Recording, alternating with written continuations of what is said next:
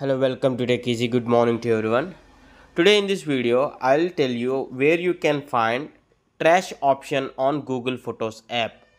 For example on your google photos so when you try to delete any picture for example this one immediately this won't be deleted permanently but this will be moved to trash. See here moved to trash. But in order to uh, get back that photo again back to the google photos or to recover that we need to enter into the trash option. Uh, previously the the option used to be different. Means there used to be three bars here at the top left. When we used to click that there is a option called bin here.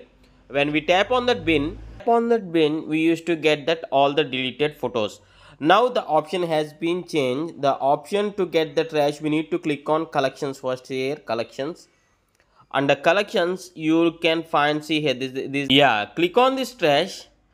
And here you can have the option of restoring it also. For example this is the just deleted photo. Here will come across the restore option. If i click on this restore if i click on allow the as soon as i clicked on recover it will be available under photos again. See here this is the photo what i have just deleted and recovered it. So this is how you can find the trash option or the bin option to recover the photos or to restore the photos. I hope you like this tutorial. If you feel this tutorial is helpful to you please do hit a like. This would really help me. And thanks for watching. Have a nice day